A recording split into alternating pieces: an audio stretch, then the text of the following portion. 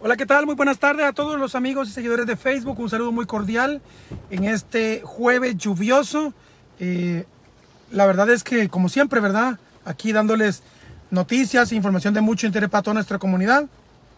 Y en lo que empiezan a conectarse, quiero comentarles de que, bueno, se espera hoy, mañana, día bastante, bastante agua, por lo menos aquí en Georgia. Así es que los conductores que deseen eh, apegarse al reglamento vial y evitarse problemas con las autoridades.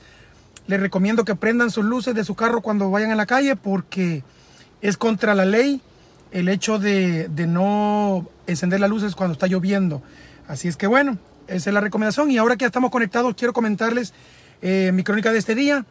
Está basada en una tragedia, algo muy horrible que le pasó a un niño, eh, un niño pequeño de tan solo 10 años, que lastimosamente fue violado en uno de los lugares donde se supone que debería estar más seguro. recordemos, ¿verdad?, que tanto el hogar, tanto la escuela como la iglesia son considerados lugares eh, pues sagrados, lugares donde los niños deben de estar bien cuidados. Lastimosamente no siempre es el caso y eso le ocurrió a este pequeñito.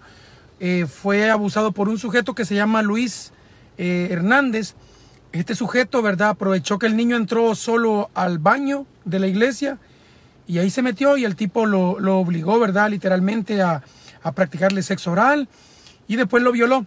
O sea, lamentable suceso, sobre todo que se haya dado en, el, en un templo, ¿no? En, se supone que es la casa de Dios, se supone que es un lugar donde, donde se, se debe proteger a los pequeños, pero recordemos que no es nada nuevo. Por décadas, quizás siglos, no sabemos decirlo, pero por décadas eh, se ha sabido tantos abusos que hay, por, por, lo menos en la Iglesia Católica, que es la más grande a nivel mundial.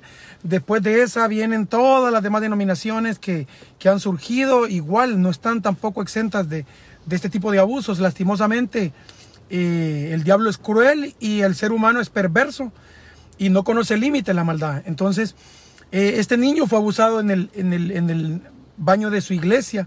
Ya el tipo está preso. Este, este incidente, esta tragedia ocurrió en un pequeño poblado allá en Puerto Rico, pero la traje a colación porque todo lo que tiene que ver con abusos sexuales eh, son casos de que pues están a la orden del día.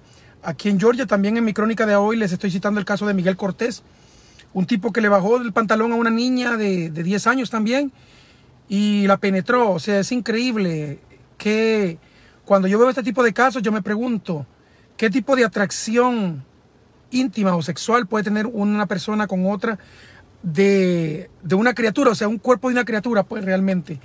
Entonces, pero les decía hace unos minutos, lastimosamente la maldad, la perversión humana no conoce límites. Y por siglos, por décadas, siglos, se ha sabido de muchos abusos sexuales. Lastimosamente la mayoría quedan impunes.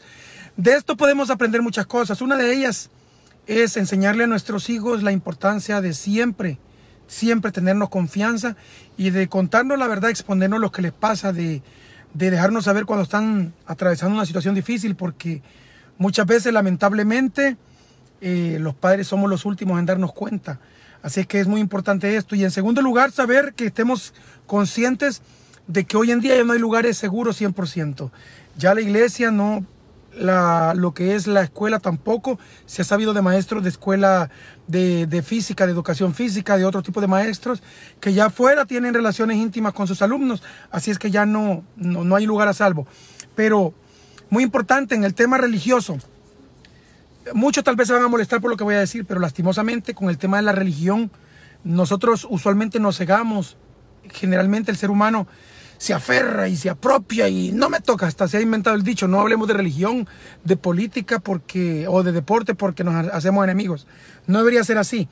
No debemos de aferrarnos a una religión, a un credo, a una fe, a una iglesia.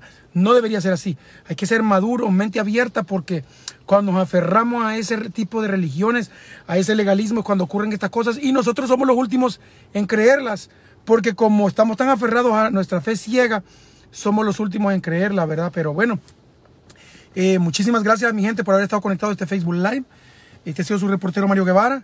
Eh, antes de decirle, perdí la noción. Quería comentarles que cuando, estaba, cuando hablaba de, de, aferrarnos a una religión, les quería comentar que supe de un caso aquí en Norcross de una niña que llegaba a una célula, unas casas de esas donde hacen reuniones y hay oración y canto, etcétera. Llegaba esta niña a esta célula y mientras todos estaban en la sala ahí cantando y gritando, lo que sea, la niña la metían a un cuarto y uno de los hijos mayores del líder de la célula la abusaba, la tocaba, la manoseaba, le tocaba todo lo que quería el tipo. Entonces, mientras estaban allá por allá orando, eh, le estaban abusando a, una de las niñas a uno de los miembros. O sea, casos como eso, les digo, no hay que aferrarnos.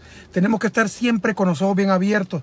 Tenemos que estar conscientes de que el peligro es latente, incluso con los con la misma familia, no digamos con personas desconocidas, ¿verdad?